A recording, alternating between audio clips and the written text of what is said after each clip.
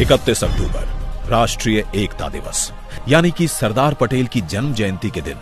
हमारे प्रधानमंत्री Narendra Modi ji Statue of Unity Kevadia से देंगे सरदार पटेल को श्रद्धांजलि। और देश भर के 700 से ज़्यादा जिलों से लाखों लोग जुड़ेंगे, साथ लेकर एक लक्ष्य।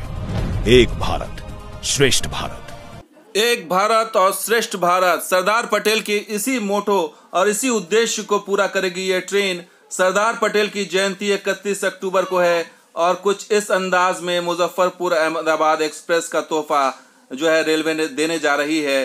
सरदार पटेल की जयंती पर पुरानी ट्रेन को नए अंदाज में चलाया जाएगा 31 अक्टूबर को और ये मुजफ्फरपुर से शुरुआत होगी इसकी 31 अक्टूबर को। ये ट्रेन जो है, इसमें एलएचबी कोच लगाया गया। ये ट्रेन पहले से चल रही है, लेकिन 31 अक्टूबर से ये नए अंदाज में चलेगी और इसमें जो है वो एलएचबी कोच इसमें लगाया गया है।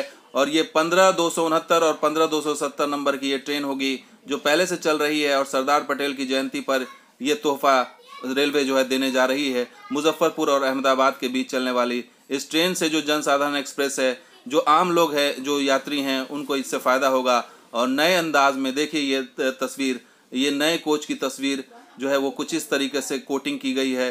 खास कोटिंग और बेहद ही आकर्षक लुक है बेहद ही मनमोहक, शानदार जो है वो कोच है और इसके अंदर भी स्पेस ज़्यादा है एलएचबी कोच है। और इसमें तस्वीर है सरदार पटेल की, लौह पुरुष सरदार पटेल की, जो ये बताएगी कि सरदार पटेल ने किस तरह से देश को एकता के सूत्र में पिरोया।